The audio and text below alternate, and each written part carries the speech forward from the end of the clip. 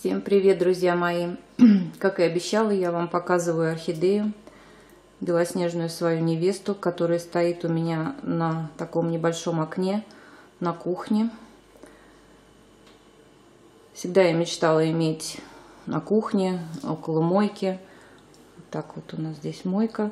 Окно, большое окно. Ну, по размерам получилось вот такое небольшое окно.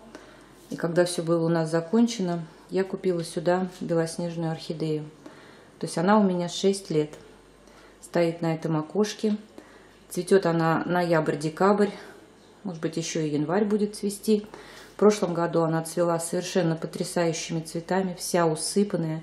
Мы даже мерили цветонос вместе с цветами. Он был 90 сантиметров.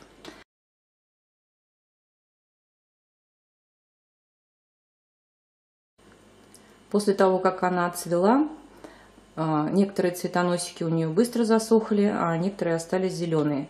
Я не стала их обрезать, мне все время жалко обрезать цветоносы, так они сохранились. И вот на них она набрала бутончики, новые цветоносики, и вот раскрылась. Буквально две недели назад она раскрылась. Цветы очень большие, я их сейчас померила, вот этот вот 9 сантиметров, то есть они крупные. Единственное, что если бы это были новые цветоносы, то есть она была более вся усыпана цветами, более пышное цветы, цветение, обильное цветение.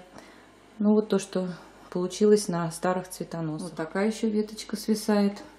Сейчас я разверну ее в то положение, как она у меня стоит. Это просто я повернула, чтобы получше было ее снять.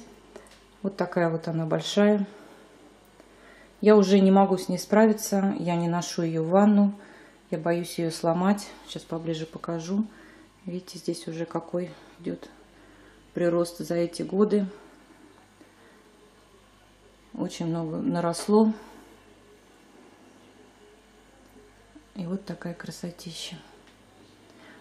Как бы там ни было, цветные орхидеи очень красивые, но у белой есть какая-то вот своя трогательная нежность и прелесть. Сейчас я поверну и покажу вам ее в другом вот ракурсе. так она стоит. Я ее развернула в то положение, в котором она находится. Цветочки все повернуты к свету. Это получается южное окно, но соседний дом прикрывает солнце, и оно сюда попадает буквально немного. Но орхидеи здесь нравится. Растет она в темном горшке личуза. Он коричневый, с автополивом. Я уже его как-то показывала на видео. Вот здесь термометр. Вот понятно, что надо долить воды. Вот вода уже почти что вся испарилась. Сейчас я долью до верхней отметки воду. Как я сказала, что не ношу я уже ее в ванну. Вот так она стоит. Я только поливаю, опрыскиваю и, соответственно, удобряю. Этот темный горшок развеивает миф, миф о том, что орхидеи должны расти только в светлых горшках. Прекрасно она чувствует себя в таком горшке. Но очень она большая. Конечно, ее бы уже пересадить. Но, скорее всего, я буду менять просто орхидеи. Я куплю сюда весной такую же белую орхидейку. А эту я уберу на другое место. Закрепила я ее уже, здесь много опор стоит, две. Все переплела, чтобы она не упала от тяжести. Даже больше не от тяжести цветов, а от того, что вот Такая она большая. Ее, конечно, выпрямить, но тогда надо что-то большое ставить сюда, чтобы поднять ее прямо. Рядышком стоит э, контейнер с водичкой, и сюда я подселила мельтонию. Вот такой вид. Она выпустила вот такой большой цветонос, он очень толстый, вот видно. Но я по своей неосторожности сломала его в сентябре. И не получилось, чтобы она зацвела на новом цветоносе. И как только он сломался, в рост пошли верхние вот эти вот почки, цветоносики на старых цветоносах. И она начала зацветать.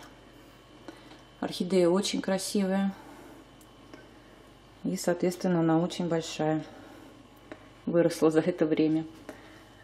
В этом году я планирую уже не беречь старые цветоносы. Я их все срежу, чтобы она отдохнула и выпустила после отдыха новый цветонос, чтобы получить более пышное цветение. Трогать я ее пока не буду. Мне она очень нравится и мне она очень дорога. Вот. Показала вам орхидейку. Вот такая большая красотка у меня на окошке стоит. Всем пока. До новых встреч на моем канале.